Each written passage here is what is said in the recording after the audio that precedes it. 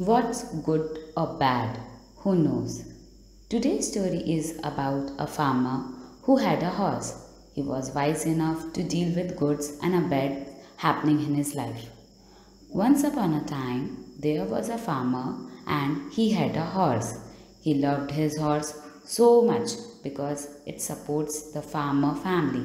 It was his pride and joy as it helps the farmer to earn money until one day the horse ran away. The community heard about it and all keeps on saying, Oh God, your favorite horse, whom you love so much, but it ran away? That's so bad.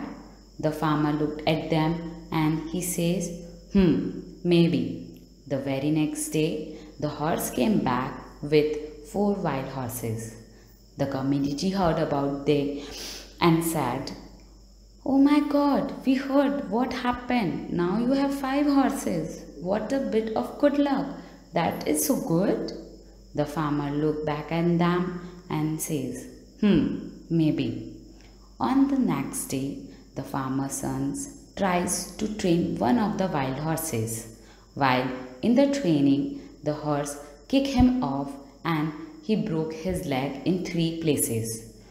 When the news spread in the neighborhood, everyone visited the farmer and said, Oh my god, these are the stupid horses. Look what they did to your son. That is so bad. And the farmer says, Hmm, maybe.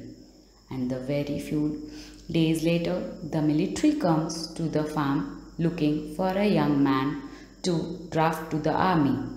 They gave one look to the farmer's son and said, we cannot draft him. He has got a broken leg.